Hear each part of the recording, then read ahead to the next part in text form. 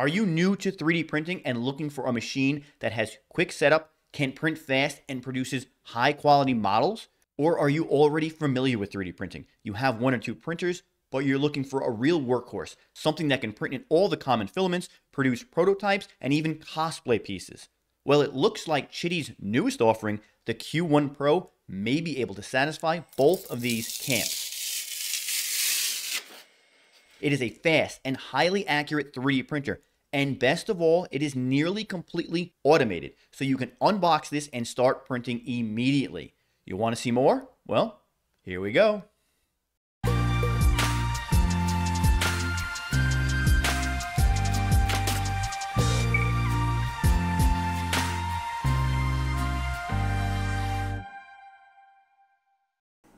Folks, welcome to the channel. I am Leo of PrintsLeo3D.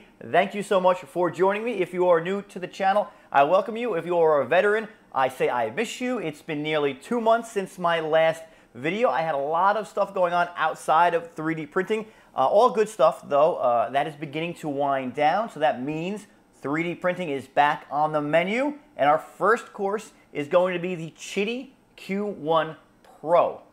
This is the newest 3D printer from Qidi or from Qidi Tech, and it so far has really blown me away. Qidi has been making a great foothold in the market of enclosed, very fast 3D printers as of late. All of Qidi's previous iterations were great 3D printers. However, they always lacked a little bit of that beginner-friendly edge. This 3D printer is running Klipper firmware, which is how it packs all the great features into one box. However, Klipper firmware does not necessarily lend itself to beginners. What Qidi was able to do with this 3D printer was still utilize Klipper to its fullest extent while also adding in some beginner-friendly features so you can just get up and running with little to no 3D printing knowledge whatsoever. Sounds great, right? Well, there's even more. Because this is enclosed and the print head can get up to such high temperatures, we can print any 3D printing filament we want. This has a touchscreen on the front that will help navigate through the menus. There's a camera inside so we can watch our prints while we're not standing directly in front of them. And the best feature Qidi has implemented is the completely automatic leveling. That means we are hands off in any of the leveling functions. This 3D printer will probe the bed, it will level the bed, and it will even adjust your Z offset for you without you having to even lift a finger. And you can jump right in and begin printing immediately. If you can't tell, I really like this 3D printer. It worked well for me and it continues to work well for me. However, it is not without its rough spots and some of them were extremely shocking. So in this video, we're to go over all the nitty gritty, break down the different features, how they're implemented, why they're implemented, what that means for you if you are considering purchasing this 3D printer. Before we do, I want to thank today's video sponsor, PCBWay. If you are interested in a DIY project or an electronics project, PCBWay should be one of the first places you look as a resource. Besides custom-built PCBs, they also provide additive manufacturing and CNC work.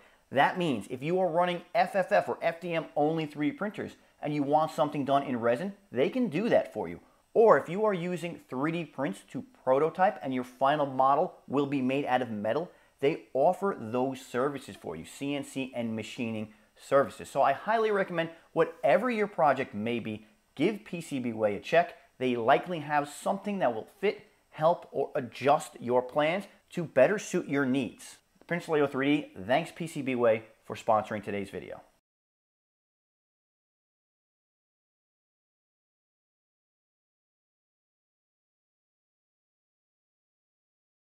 So looking at this 3D printer aesthetically, I've heard it called a microwave, I've heard it called an air fryer. I like both those things.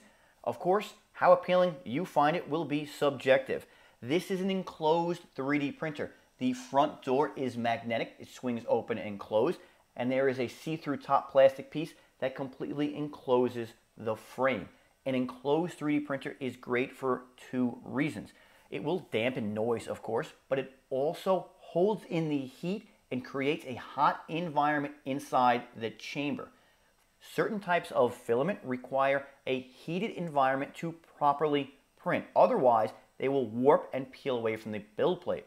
An enclosure creates that hot environment passively. It will trap the heat from the print head, but mostly the bed, and hold it inside. Now, most passive enclosures get to somewhere around 30 to 40 Celsius. That's about my guess with the printers I have. This, however, is actively heated. That means there is a chamber heating fan inside the enclosure that will actively heat and maintain temperatures. And it can get up to 60 degrees Celsius. That is like no other 3D printer that I know out on the market today. Every other enclosed 3D printer utilizes passive heat. The Qidi Q1 Pro has a heated chamber. Doesn't come without its cost, and we're going to talk more about those as we dive into the enclosure.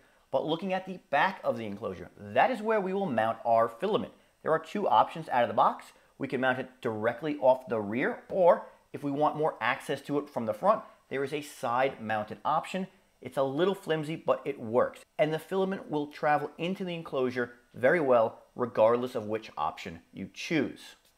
Coming towards the front of the 3D printer, that's where we find our touchscreen. I found it to be responsive and pretty well set up. This isn't as robust as a Klipper screen, if you're familiar with that, but this does have a ton of options to help you start prints, adjust prints, fix prints, and calibrate certain features. And the touchscreen is also where you will hook this 3D printer up to your local area network. This touchscreen will also help you set up the 3D printer when you first unbox it. There's a ton of different screens that this will go through to make sure that you unbox this properly and you get some initial calibrations finished. Moving inside this 3D printer, we have a steel reinforced frame. Also inside that enclosure to the right side is an auxiliary parts cooling fan. This is a larger fan, very common in these enclosed 3D printers nowadays, and this will help cool parts across the build plate as it is printing. If we wrap around to the back of the 3D printer, that is where we will find our chamber heating fan. Now there is some controversy about this because while this is the only 3D printer that offers it, this does not do it in the most safe manner. The channel Vector 3D did a teardown of this 3D printer a few weeks ago and found that when the chamber heater is on, there is live voltage going to the fins in that chamber heater. That is extremely, extremely dangerous. While the chamber heater is active, you will very likely never find your hands or any other parts in this printer. That doesn't make it okay though. Mandic Labs did a really, really nice video on this problem and a possible solution. I'm going to link it in the description. If you are considering this 3D printer, give that video a watch because it's definitely some information you're going to want to know about.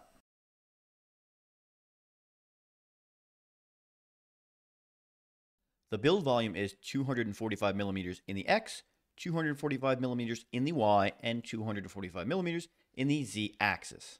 There are two motors that move the Z axis on either side, and those motors move independent of each other. Oftentimes, when we see 3D printers with two stepper motors, they are operated synchronously, which means those motors are given input at the same time, so they move in unison.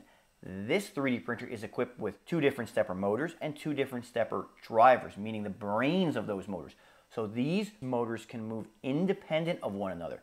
So the left can move up and down and the right can move up and down without them having to do it at the same time. That is what is going to help us auto level this bed because we are going to use something called Z-tilt and we're going to level the left and right side of the bed until we get it just right. And we're not going to do any of it.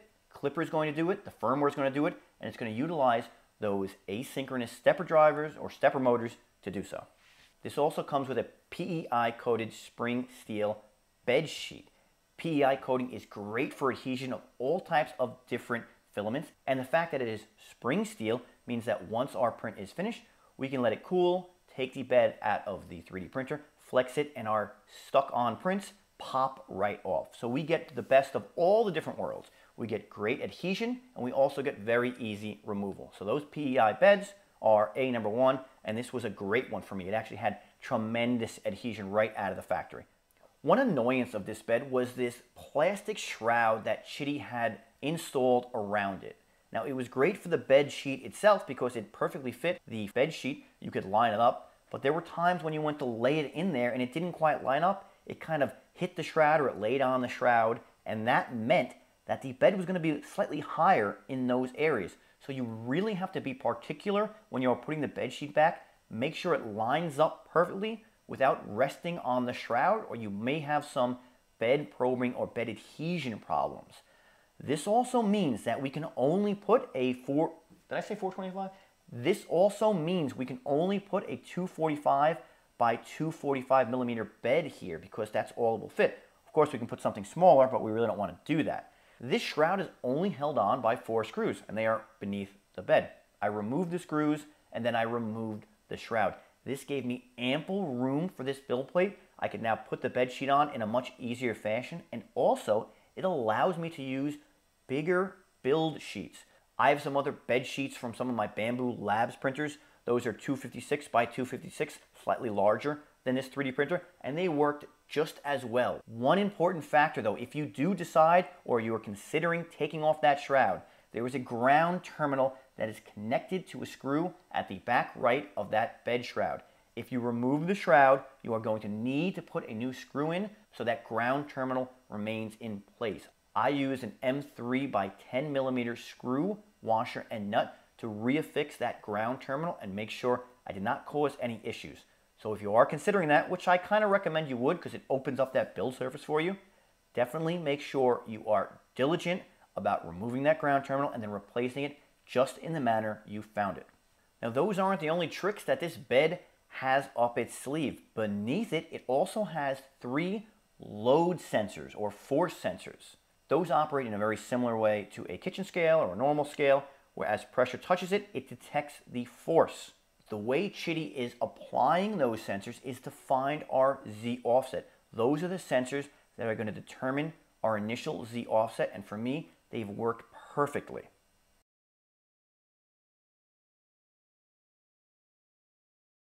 Auto bed leveling and Z offset adjust. How has Qidi done it? To that end, Qidi is using a bed probe, the bed load cells, and then some really cool features of Klipper firmware to make all of this happen.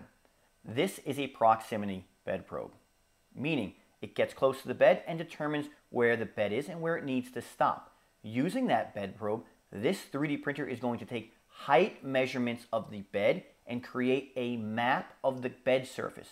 That will quite literally be the contours or the grooves and the dips of the bed surface so that the 3D printer can adjust the nozzle's course as it's printing over the different areas of the bed. This is going to maintain a constant height between the nozzle and the bed. That is one way in which Qidi is using the bed probe. Another way is by using Z-tilt. That's a firmware feature. Before a print, the bed probe is going to move to the left side of the build plate and then to the right side, and it's going to take height measurements of those sides. Then, using those independent stepper drivers that operate the bed, meaning they can move left and right independent, it's going to adjust the left and right side of the bed so our bed is perfectly level. That is the second way that Qidi is using that bed probe to automate leveling for us. Now the third way uses the load cells in the bed and it's wild.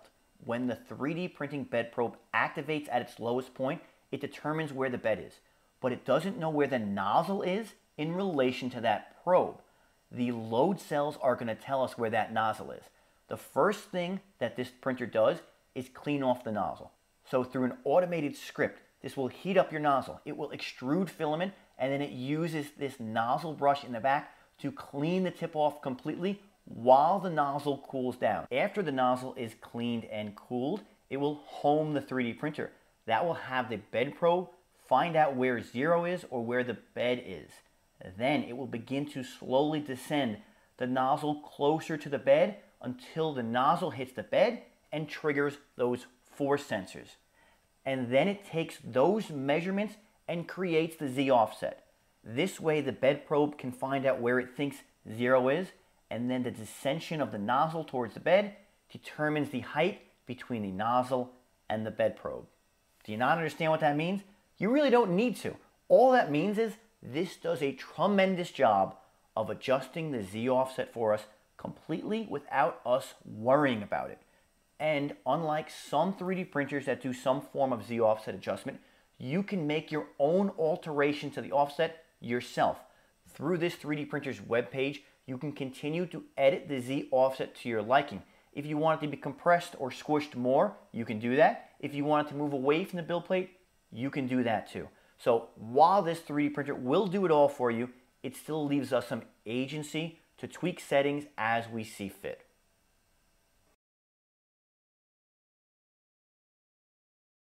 Above the bed, we have the lightweight printhead, and this looks like a lot of the other offerings from Qidi Tech.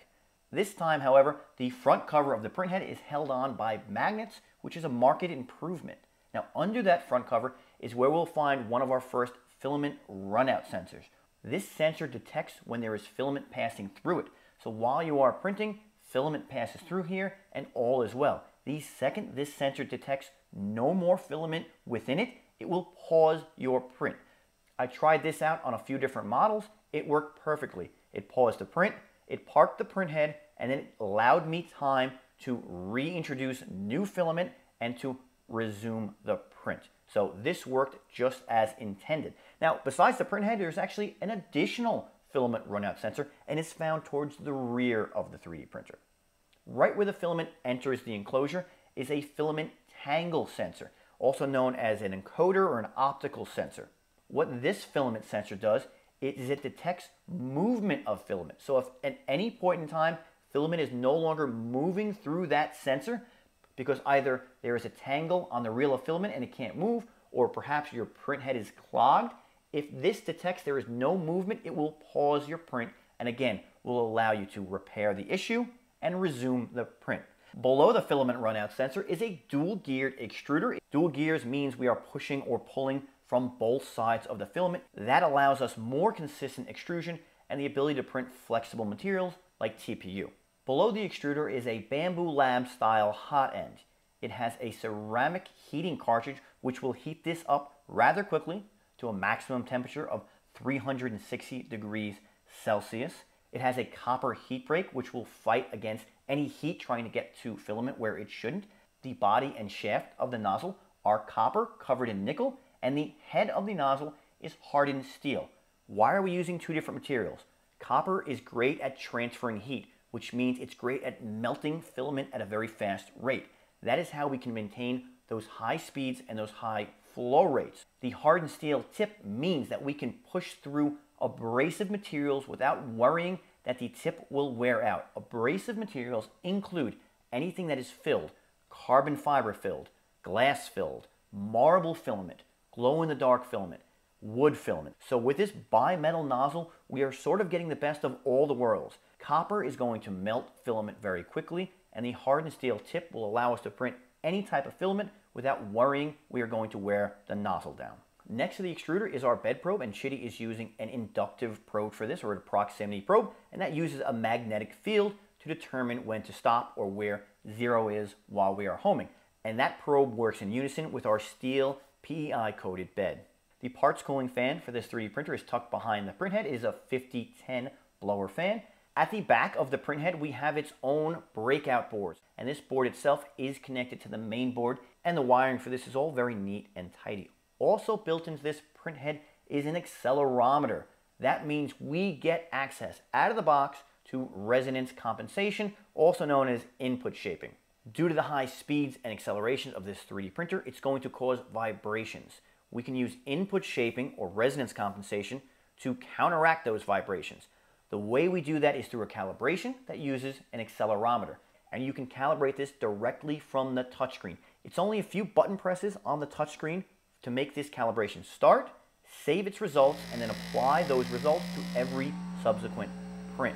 Qidi has made this really simple for us. And for those that know Klipper, if you want a more hands-on approach, you do of course have access to all the different input shaping values directly from your Fluidd webpage. So you can run input shaping from there, you can get the results, you can download your graphs, and then you can adjust input shaping or you can choose an input shaper for whatever suits your needs. This is sort of the yin and yang of how Qidi has set this up. They give beginners a really simple way of getting access to that calibration, but it also gives the veterans of Klipper and 3D printing access to all the little nitty gritty that we want, and we can adjust all those things as we see appropriate.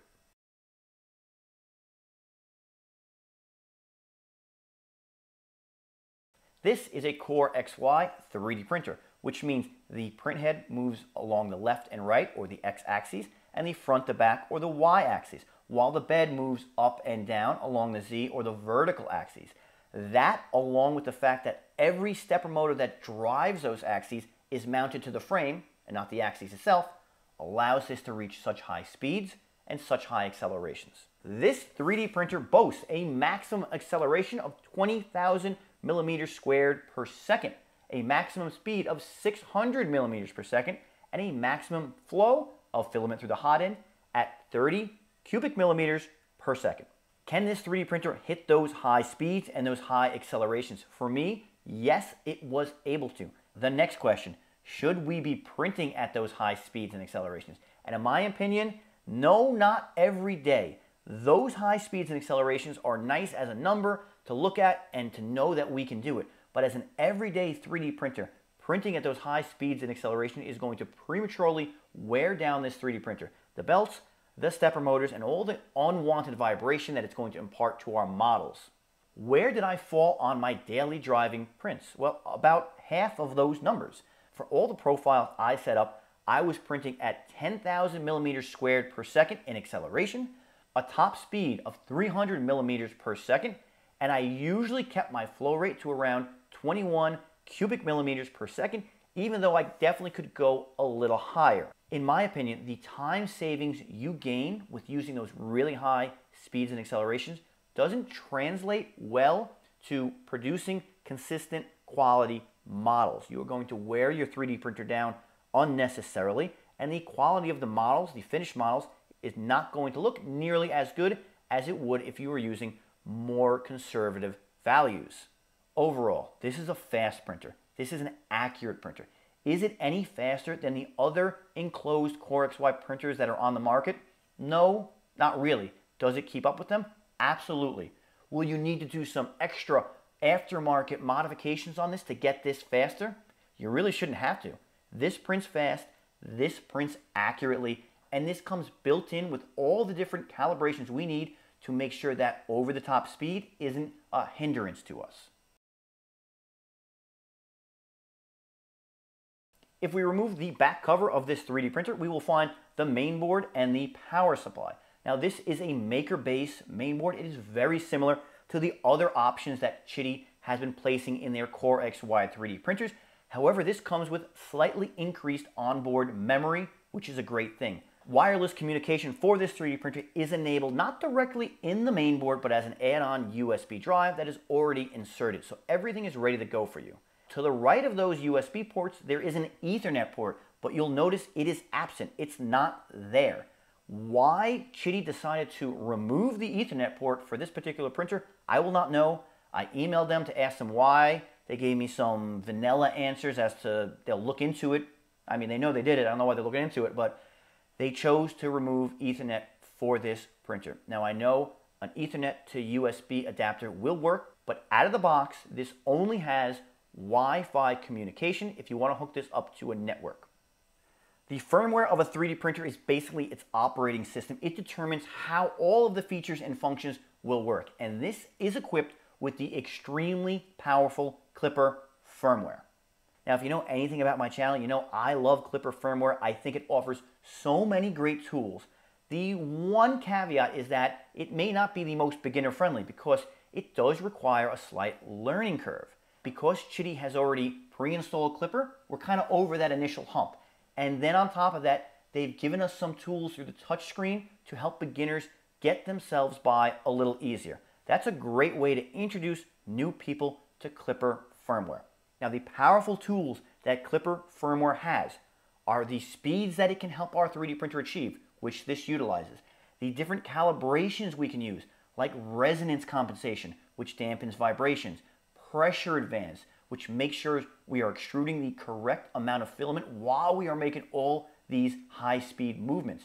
We get access to a webcam, which this has out of the box, and we get a front end or a web page that we can control our 3D printer from. So while we are on the same network that this 3D printer on, which generally is your house or office, and you have access to what we call the front end. That is like an expanded menu system that allows you to start prints, stop prints, add print files, check previous print files. You can create time lapses with this 3D printer. You can check old print files and you can modify a ton of different features, including the overall look of that web page, to your heart's desire.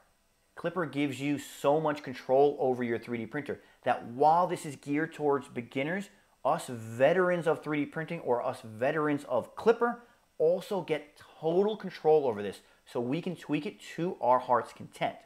One feature we don't have out of the box is the ability to view this 3D printer from anywhere in the world. We can only communicate and view this printer using the webcam while we are on the same network connection. However, Klipper has access to a powerful service called Octo Everywhere.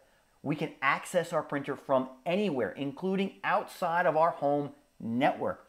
That means if you start a print and need to leave your house or your office where your 3D printer is, you can continue to monitor it. You can stop it if things go wrong. And Octo Everywhere has built-in AI print failure detection. That means by using this free add-on, Octo Everywhere, we can grant this 3D printer AI print failure protection. And that is an awesome tool that is at our fingertips that Klipper affords us. Now, I added Octo Everywhere to this 3D printer because I think it is a free tool that does so much for us. It's almost a no-brainer not to.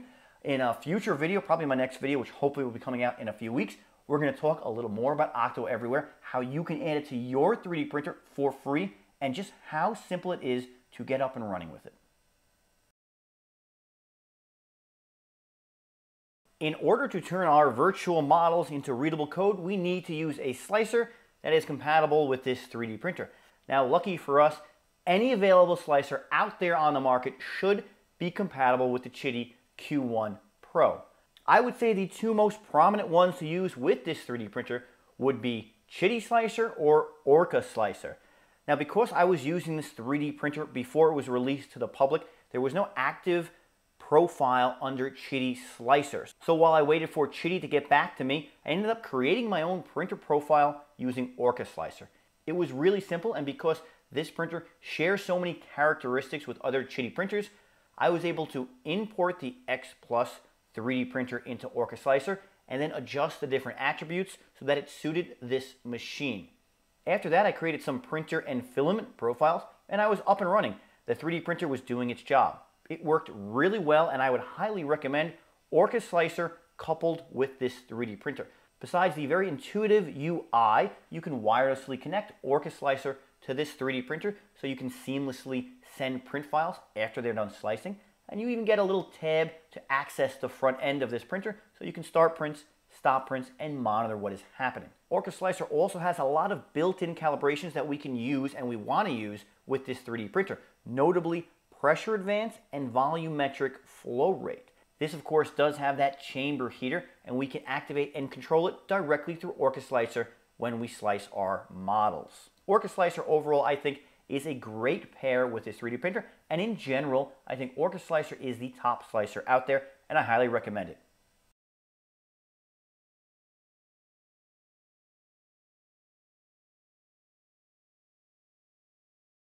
So that is the breakdown of this 3D printer and my experience with it. I really like this printer. It was quick to set up out of the box. It was an intuitive design and as a beginner, I think you can get up and printing very quickly.